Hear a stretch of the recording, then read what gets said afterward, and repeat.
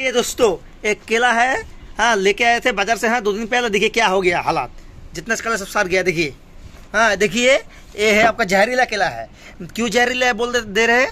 आप नोटिस कीजिए अच्छे से। देखिए यहाँ पे क्या है? इथराइल जो बोलता है आपको आप गूगल में सर्च कीजिएगा क्या क्या चीज़ है उसमें बहुत जहर है। इथराइल वाला चीज़ को खाना नहीं चाहिए। आप लोग जब भी जाए बाज़ार में जाइएगा ना देखिएगा केला का बा जो, जो कौन कोई सा भी फ्रूट जो है आगे में अगर ऐसा लाल लाल रहेगा सोचिएगा वो जहर है मतलब इथराइल है हाँ उसको इथराइल कहता है।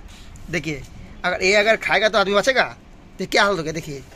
अगर जानवर भी खाएगा, अगर जानवर भी खाएगा तो जानवर भी खाए जो जो जानवर है ना उसका भी नुकसान होगा। क्या हालत हो गया, देखिए देखिए देखिए। तो आप लोग बताइए ऐसा केला कोई मतलब अबे बाज़ार में इतना भेजल निकला है, इतना भेजल निकला है हाँ देखिए तो। देखिए अच्छा अच्छा देखिए। इतना केला है। केला का साथ नींबू नींबू भी था नींबू भी सड़ गया है। देखिए जब सोचिए तो जो आ, मतलब कोई सा भी फ्रूट लगेगा नेचुरल लगेगा अगर कच्चा होगा दो दिन तीन दिन रखेगा तो पक जाएगा लेकिन ऐसा चीज़ कभी भी मत लगेगा कितना लिया? बोलिए तो एक केला का दाम? इसको बोलता है मधुआ केला बोलता है बांग्ला में जो भी हो। हम लोग वेस्ट बंगाल का है तो मधुआ बोलता है इसको। तो ये केला ना लिया था कितना बजी? सत्तर रुपये डजन लिया था। सोलह टू केला था यहाँ में। हम्म, बारह बारह बीस किला में एक डजन होता सोलह तो सोलह मतलब सिक्सटीन किला था जो भी है।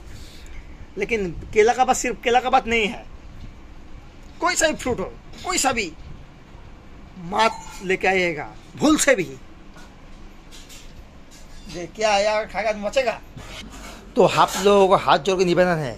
एक केला फूल ऐसा केला ना, ऐसा अगर लाल रंग रहेगा रहेगा तो रेड कलर रहेगा तो कभी मत लाएगा, ठीक है? बाज़ार से, देखिए, इतना केला है, अगर आदमी खाएगा तो बचेगा।